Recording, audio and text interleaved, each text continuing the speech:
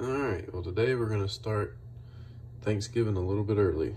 We're gonna go ahead and put a turkey on the smoker. I'm gonna go ahead and take it out and wash it off real good and get all the innards out. All right, so our turkey's, our turkey's still a little bit frozen. You laid out all night, but apparently it wasn't quite enough. So I'm gonna put a little bit of lukewarm water in here, kind of roll them around in it and get them thawed out. But I'm gonna go ahead and get out the bag of goodies. I'm gonna make sure you get that out. Rinse everything out real good. Kind of just make sure they got it good and clean whenever they processed it. So.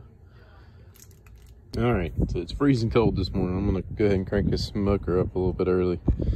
So cut it on. I'm gonna go ahead and set it to, I think I'm gonna put it up to about 235.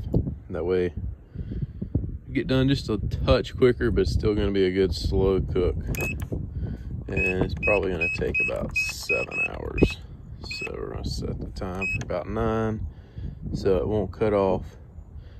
And this one does have Bluetooth, but for some reason, whenever I got my new phone, because I went swimming with my other one, I cannot get the Bluetooth to work. So that was really handy, but maybe one day I'll figure out how to get it to work. But I'm just gonna let it keep warming and the turkey's still thawing out a little bit. So hopefully it'll be all the way thawed here shortly. So the turkey's finally thawed out.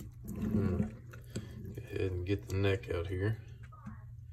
Save that for later. All right, so got it all rinsed out and then I took some paper towels and patted it dry. Now we're gonna take some olive oil. We're gonna give it a good coat and rub it down. That way the skin will crisp up a little bit better. All right, we got it good and coated in olive oil. Now we're gonna sprinkle some onion powder, garlic powder,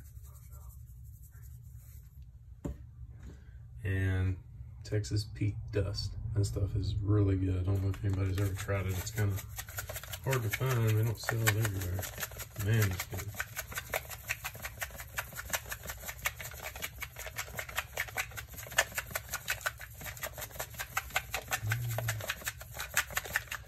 Make sure to get quite a bit inside as well.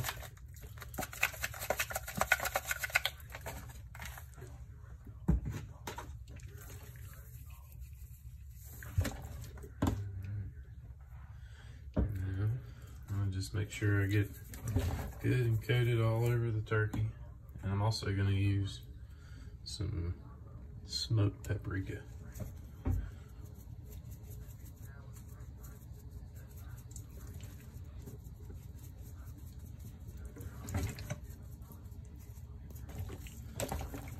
It over and I'm gonna do the back side too now. I'm gonna get a good coating of spice all over it. Get some good flavor. I think I got this at Lowe's Foods, I believe where I found it. And my dad had some and he tried it and really liked it. So. It took this thing a lot longer to thaw out than I presumed. It set out for about 13 hours. And it's still up to the beginning of the fall, so I put your turkey in the refrigerator for probably two or three days before you wanted to smoke it, or I'd leave it out for about 17 or 18 hours. Probably maybe even 20 hours. All right. Got it all seasoned up. Now we're gonna go put it on the smoker. And now I've got my grill rack set they're pretty far apart. Kind of tuck these wings in there. Set it right on there. I had to separate my racks a little bit because this thing's so big. But man, it looks good. So we're gonna go ahead and close this up, add some wood to the firebox and check it in about an hour or two. Just keep adding wood probably every 45 minutes or so. All right, now I'm gonna take some disinfectant wipes and I'm gonna literally wipe down everything. I'm even gonna wipe down the bottles that I was using, spice bottles, just to make sure there's no salmonella or anything that could possibly get anybody sick. All right, I got some hickory wood chips here. I'm just gonna add some. kind of as needed. I'm gonna just keep it smoking. And I used to soak my wood chips, but I don't know if the smoker doesn't get enough airflow. But it seems to smoke and do a lot better with them dry. So we're just gonna use them dry. And you could do a mix of some soaked in water or apple juice ones. But I think that works best for this smoker. All right, it's been about an hour. So I'm just gonna peek in here and see how things are looking looking good. I don't want to open it too much. I want to keep as much of the heat in as I can. Now I'm going to go ahead and add some more wood chips. And this one will last about 45 minutes of an hour. So I want to get, get a good smoky flavor. And I'm going to let it probably smoke for probably three hours. I'll let it smoke for three hours and that'll give a real good smoky flavor. And then after that, I'm just going to let it cook. So I don't want it to get too awful smoky because it'll be just a little overpowering on turkey because it absorbs the smoke pretty good. So we'll check it in another hour or so. All right, it's been about three hours. So we're gonna open this thing up. It's looking good. I'm gonna go ahead and put in my meat probe here into the breast and put in the thickest part. Uh, keep it away from any bones. And we're gonna check and see where we're at three hours. Three hours. And we're setting at, I hope you can see that, 150 degrees. So we've got 15 more degrees to go to get to 165. So that'll probably take another hour. So right now the smoker's down a little bit because I just opened the door, but I might pop, I think I'm gonna take the temp up to about 150 degrees. So we've got a good three hour slow cook on it. And I'm gonna crank it up just a little bit to get that extra 15 degrees and get it good and done. We're gonna pull it off. Let it cool for about 30 minutes before we slice. All right, so it's been about four and a half hours and we're sitting at 159 degrees and it's not quite done yet and I'm getting ready to go hunting. So I'm gonna take it out put it in a pan and put it in the oven at 250 for probably another hour.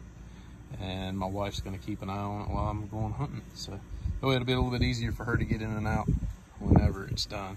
So see what she looks like. Oh, Oh yeah, it is looking beautiful. And we're right at 160. We only need five more degrees. So we're gonna put it in the oven in the house. And shouldn't take another, I don't even take an hour, maybe 45 minutes. My goodness, that looks good. It's almost done. We're gonna stick it in the oven in the house and wife's gonna keep an eye on it. And when I get back from hunting, we're gonna give it a try. All right, so I went ahead and set the oven for about 240 degrees. We're gonna let it set. Just gonna keep an eye on it until it gets up to 165. And we're gonna take it out and cover it in aluminum foil and let it cool down. All right, I just got back from a hunting trip and turkey is wonderful. My wife got it out just in time. She kept an eye on the temperature. That side looks just beautiful. But I got back a little bit after dinner time. So we're gonna give it a try here. It looks good, good and moist, not dried out. Perfect turkey. Got a good smoked flavor. It's really, really good. And now I'm going to show you my favorite way to eat turkey. Alright, so my favorite way to eat turkey is a sandwich. So I'm going to take some mayonnaise. I normally use ranch, but somehow we ran out of ranch and I didn't know about it. So I'm just going to use some mayonnaise. A little bit of mayonnaise on both sides of the bread.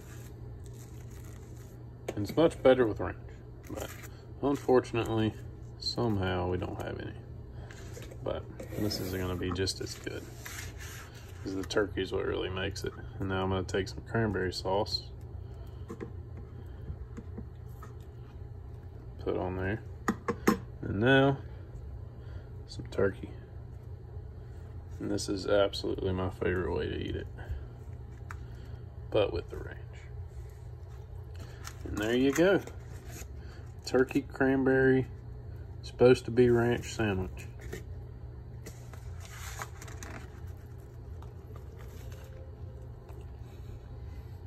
Mmm, that's so good. Can't be beat. So, definitely my favorite way. But stuffing and cranberry sauce is just as good. But that's a good quick meal and you can eat on that for a long time. You make a lot of turkey sandwiches out of a turkey. So I appreciate you watching. I hope you'll try it out. Have a good smoked turkey for Thanksgiving. Hope you'll subscribe. Bye. Now, Option B, a smoked turkey salad.